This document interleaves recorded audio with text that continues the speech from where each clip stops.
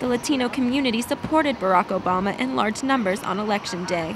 But accessibility to health care is one issue that continues to cause problems for Latinos in Washington, D.C. Neighbors Consejo is a nonprofit group that focuses on outreach to Columbia Heights residents. One of our main issues, especially with the clientele that we serve, is insurance. Um, health care, basically, most of them do not have. So, one of the ways that we assist them would be um, um, going with them to an institution like this one or Columbia Road and get them to sign up for the health insurance. Jeff Raderstrong, communications assistant at La Clinica del Pueblo, says many Latinos are seasonal workers, which causes them to lose their jobs and health care yes, uh, easily. we, we do not accept private insurance, but we have a lot of people who will come in um, either with Medicare or Medicaid or the DC Healthcare Alliance.